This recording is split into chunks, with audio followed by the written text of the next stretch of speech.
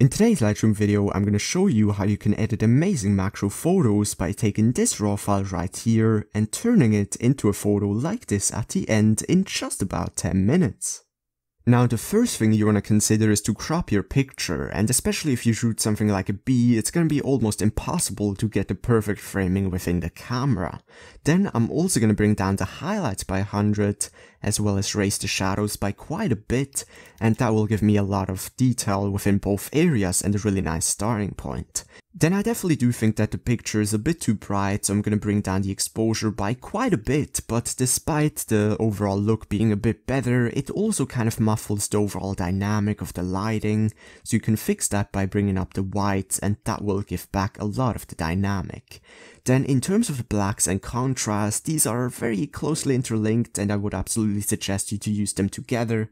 Now the first option is to add contrast and go into the plus blacks and that will give you a very soft picture but at the same time very contrasty.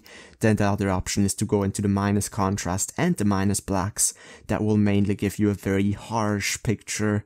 So in macro shots, it's usually a better idea to go into the plus blacks and at the same time into the plus uh, contrast. Now of course you can also adjust the sliders individually, but I really think that's a nice way to move them together. Then another very important thing is the clarity, and here a lot of people will just go into the plus clarity, but especially in macro shots, which is usually a very delicate thing, a very delicate subject, you don't want to exaggerate all of these textures even more, but you rather want to work with the mood and go a little bit into the minus clarity, works a lot better here. Then, in terms of the vibrance and saturation, definitely up to you, if you shoot raw, it can actually work to add a little bit of vibrance and saturation, which of these sliders work better for your picture is really very dependent on the actual picture itself, so I would just suggest you to play around with both sliders and get a nice in-between of both. Then to the tonal curve, here you can bring up the highlights and that will just increase the overall dynamic even more. It's very similar to the whites rather than to the highlights in the basics adjustments. And then with the rest of these sliders, I would suggest you to just play around with them and at the end stick with whatever you like best. It's once again very different from picture to picture. And if I show you real quick from before to after, a very small difference, but it does help the picture. Then going down, HSL tool we're gonna have to skip because it has a very solid difference in terms of the color.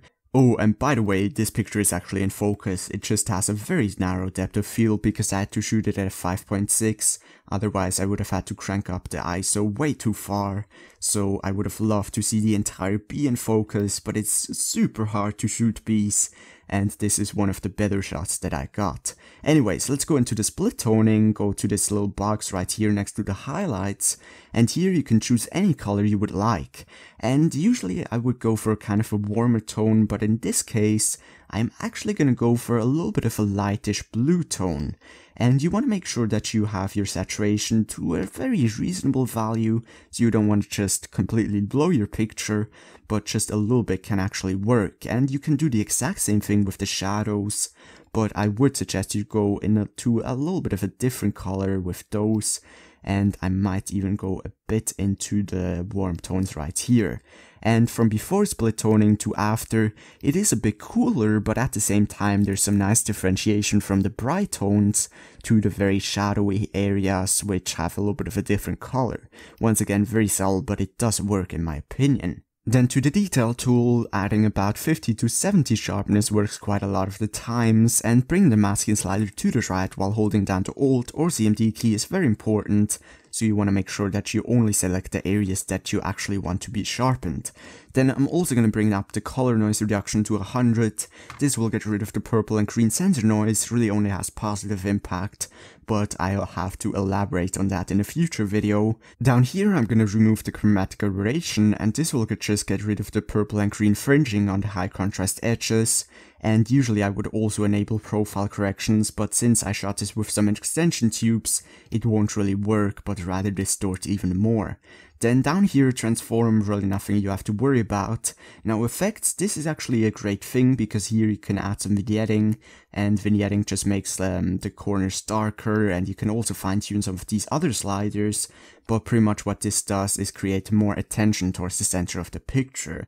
Then down here at the camera calibration, the profile will actually have a huge difference in quite a lot of the cases, and this is an option that you will only have if you shoot in RAW, so it's definitely worth to do so, but what this very much will do is change the overall color and the overall look of your picture, so it's definitely worth to play around with it and just see if there's anything you like better than the Adobe standard, and in this case, I might even go for camera landscape, you know, it's really nothing about the actual names themselves, just look about the actual effect on the picture, and I think this really has a huge difference and makes the color pop quite a bit. Then in terms of the primary colors, I'm gonna real quick go into these as well and just change around some of these and just fine tune the colors. Now a thing to be aware of here is that if you choose um, or move around any of the sliders, then it will also adjust all of the other colors. So that's why it's called primary colors, just something to be aware of.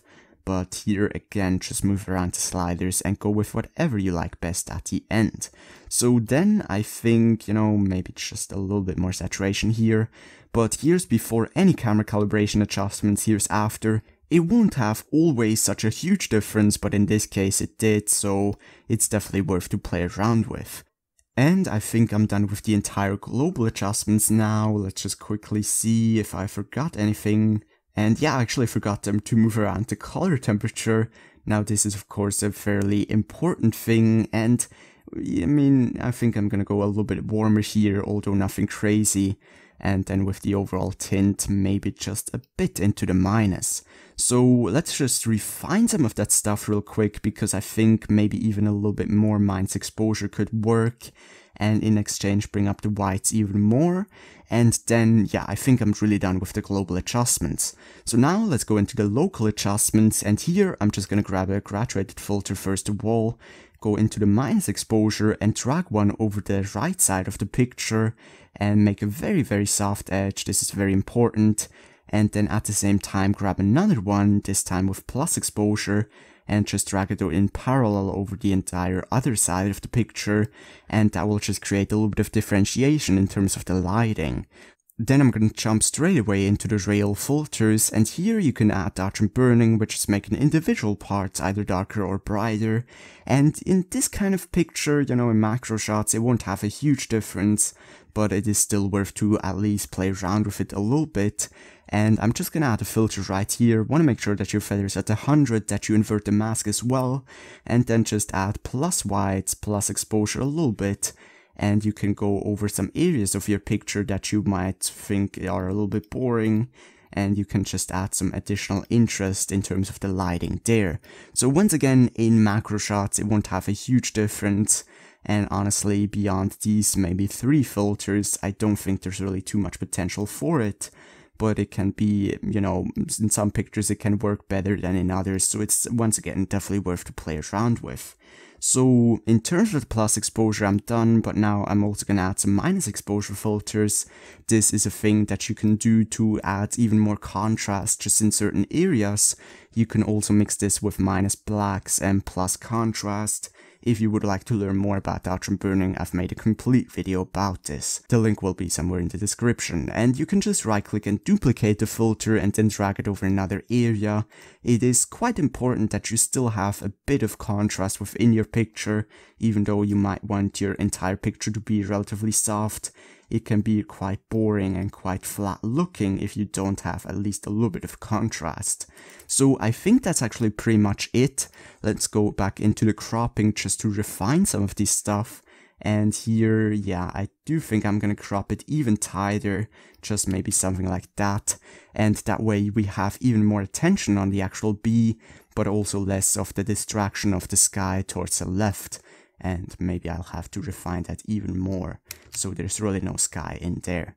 So I think that's pretty much it. Now once again it's not ideal because this bee isn't sharp entirely. You know what, actually I think I'm gonna take the extra minute and go into the spot removal tool here, make sure you're on a heal, make sure your feather is at about 50, the opacity should be at 100 and the size just at the actual size that you want to remove the area of. So here, as you can see, there's kind of a reflection on the bee and it really doesn't work that well, so I'm going to try to remove that. and it actually did a really good job here. Let's see what it does right there. If it doesn't do a good job like here, right here, I mean that looks terrible, you can just press down your front slash key on your keyboard and it will select another source or you can just right click and select new source. And sometimes it will take a few tries, but eventually it will probably get a quite good, um, a quite good replacement for that area. And I'm even gonna do the same thing with this area right here and you can even from hand just drag the area over another area that you might want to select so if Lightroom really doesn't find anything, you can do it manually as well. And maybe I'm actually gonna add another one just for this area as well, and it did a pretty good job. So that's pretty much the entire picture. Now I know this isn't, once again, the best possible picture, but this is mainly about the editing rather than the picture itself. And if we look at the, the raw file right here without any editing, it is really quite flat, quite uh, kind of chaotic, and afterwards it's really very vibrant, but at the same time it's not overdone if you ask me. If you think it is overdone, you can always go into the saturation, for example in the HSL tool, and just go a little bit down with the yellow tonalities, for example, but I actually like the picture as a whole. And I especially like the lighting difference from the top left being very bright to the bottom right being very dark. So I do like the picture at the end. And if you've enjoyed this video, I would greatly appreciate if you could take a second to leave a thumbs up. It helps me out a lot and really helps me to see which kind of videos I should make in the future. And of course, you can also subscribe for various different videos about Lightroom and photography, where I also go a lot more in depth and take a lot more time than I did in this particular video. So thank you very much for watching, take care and keep on editing great pictures.